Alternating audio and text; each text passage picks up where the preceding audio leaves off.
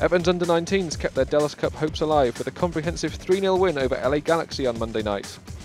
The first goal came early on and was crafted by a jinking run from Michael Donoghue down the right hand side.